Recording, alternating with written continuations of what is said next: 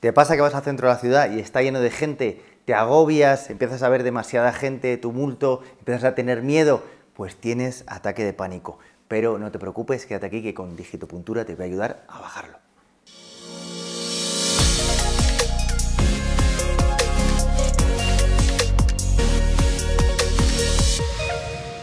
Soy Rubén Santo, acupuntor de confianza de Fisiolution y efectivamente si tienes ese tipo de situaciones de mucha gente o incluso otras situaciones que puede ser un examen, alguna situación comprometida y tienes un ataque de pánico de descontrol, quédate aquí porque yo te voy a ayudar con digitopuntura. Ojo, eso sí, tienes que tener supervisión médica siempre para que te ayude y entre todos hagamos que se baje ese ataque de pánico.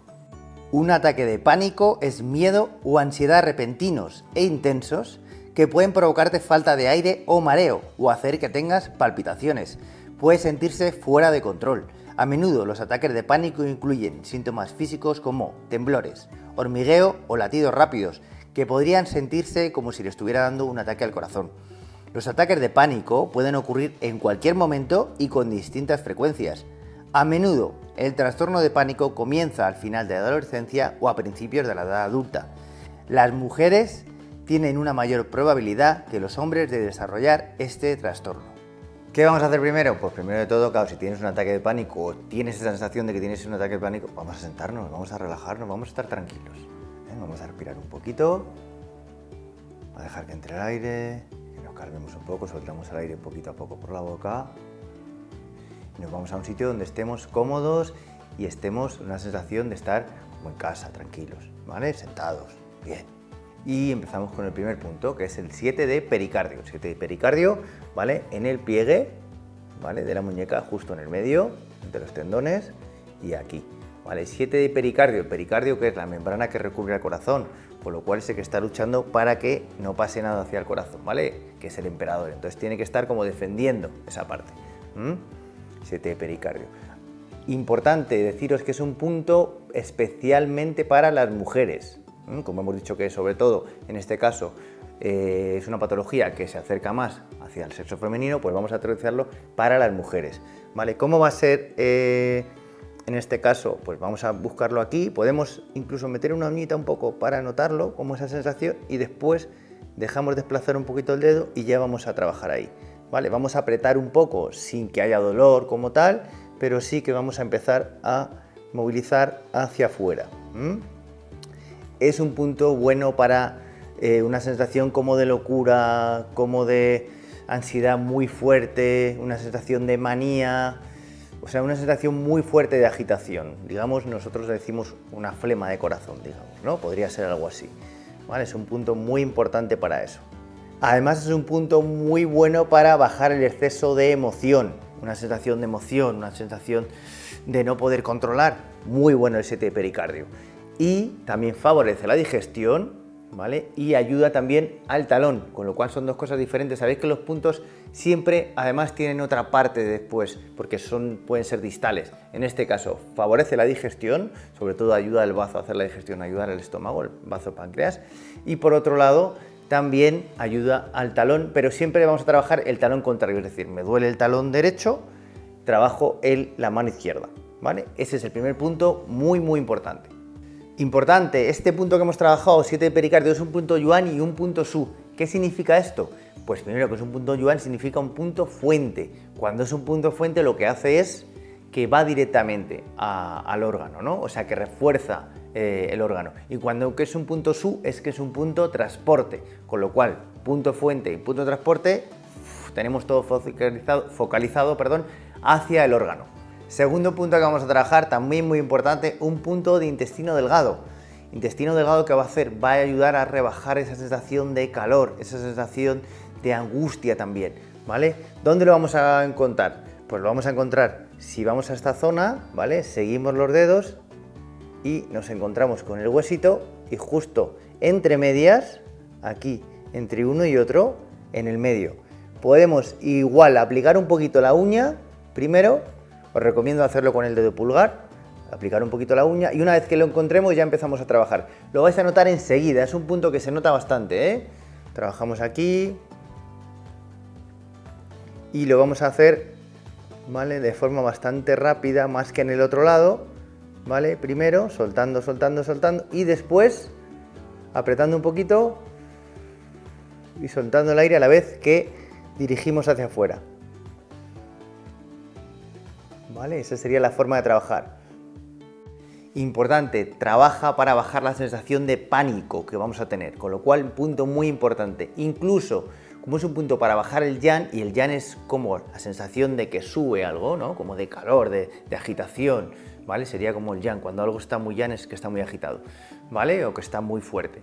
Entonces, vale incluso para dolores de boca, de cara, de trigémino, toda esta parte, ¿vale? Dolores dentales, con lo cual, toda agitación que se produzca en la parte de la cara, la mandíbula y los oídos, te vale también este punto. Incluso, ¿para qué también es muy bueno? Para dolor de hombro. O sea que apúntatelo bien porque además de quitar el pánico o bajarte el pánico, vale para todo eso que te he dicho. Vamos con el tercer punto, no por ello menos importante, de hecho está muy cerca de la mano. Habéis visto que los que hemos trabajado son cerca de la muñeca, este ya directamente es en la mano. Cuanto el punto esté más cerca de la mano significa que son para tratamientos normalmente más agudos, que necesiten un tratamiento más rápido, más, más dinámico, que lo tengamos que hacer enseguida. Por eso lo estoy diciendo, para que lo trabajéis en el momento que tengas alguna sensación mínima, una agitación, una sensación de calor que sube, empieza a trabajar los puntos y se va a ver que eso baja muchísimo. Punto que vamos a trabajar, 8 de pericardio. ¿Vale? ¿Cómo lo vamos a trabajar?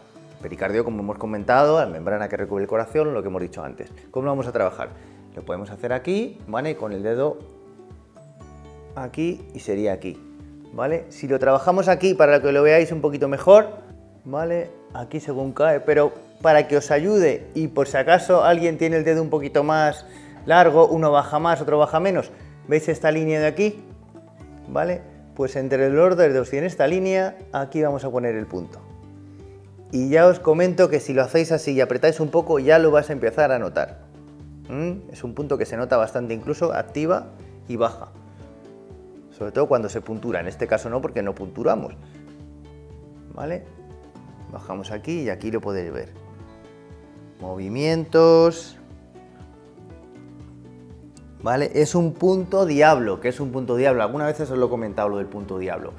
El punto diablo punto GUI, eh, a nivel, digamos, ancestral, eh, GUI, la traducción que tenía GUI, era un punto fantasma. ¿Qué se decía fantasma? Pues era una sensación cuando no tenías, eh, cuando se trabajaba lo que no se veía, ¿no? Son, traducido, digamos, serían puntos psíquicos, ¿vale? O sea, para bajar todo el tema de puntos psíquicos. en este caso, el pánico. Es una cosa que aparentemente no se puede ver, no se puede decir, ay, pues eh, le pasa esto porque lo he visto aquí. No, pero es una sensación que se tiene. Con lo cual, punto diablo, punto i y trabajamos. Siempre el punto lo vamos a apretar un poquito y cuando ya tengamos la sensación vamos a empezar a ir hacia afuera. Recordar que lo que hacemos es quitar o bajar esa sensación, con lo cual vamos a ir hacia afuera. Vale, obviamente para calmar el sen, para estar más tranquilos, pero una afección que seguramente no sabías, manos frías, por ejemplo, mareos en el coche, también cuando tienes una sensación de que te van mareando en el coche, pues mira, lo puedes hacer perfectamente. Estás de copiloto, normalmente el que conduce nunca se marea, ¿verdad? Pero el que está de copiloto sí. Pues aquí, 8 de pericardio, ¿vale? Le das aquí, empiezas a trabajar, pum, pum, pum, pum, ¿vale? Incluso fatigas subiendo escaleras, que te cuesta subir las escaleras, para un momento y me hago un poquito aquí. Y por último, también ayuda a reducir la sensación de picor, sobre todo en la zona de las manos y la zona de los brazos. ¿Por qué? Porque baja el calor en sangre o la sensación de acumulación, ¿no?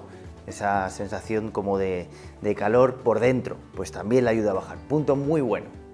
Último punto, punto 27 de riñón, eh, importante este punto porque regula corazón y riñón, es decir, que eh, mete más sangre o insufla más sangre al corazón para que baje esa sensación que tenemos de, eh, de pánico.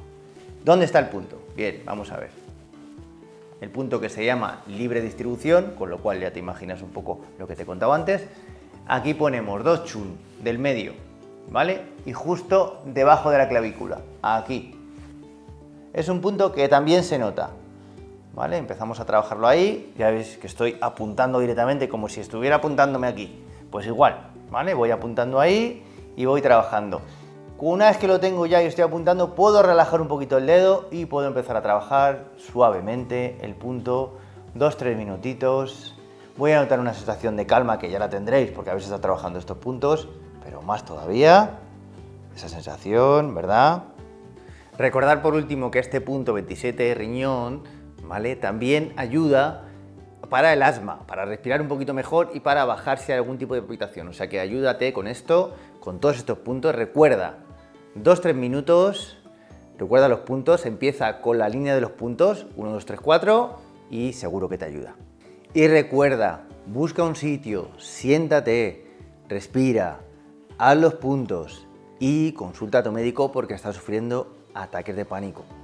Espero haberte ayudado con estos puntos y recuerda, si tienes alguna duda, comentarios, nos dices lo que necesites y te ayudamos.